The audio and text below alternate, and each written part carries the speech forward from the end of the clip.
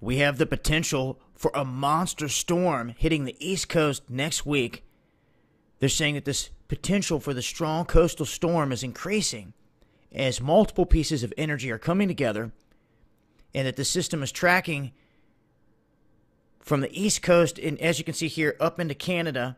This is the main area of concern here is this low is making its way up here into the region and the different models are saying that this low pressure will develop right off the east coast right around Wednesday, then charge up the coast toward the north northeast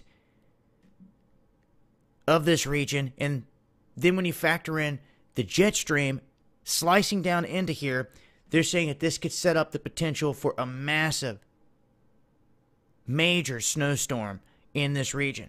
Now, the other option is that it will push a little bit north up toward Maine and really Canada having to deal with it in not the eastern United States, but in terms of this area you see right here, this is the area of concern at the moment because if everything comes together the way that they're saying it, this could be quite the storm. I will continue to update on this throughout the week as we approach the days they're calling calling for here, Wednesday and Thursday. But um, it's what they're talking about right now. This is what could be coming down the pike. Freezing cold out here, nothing to mess with.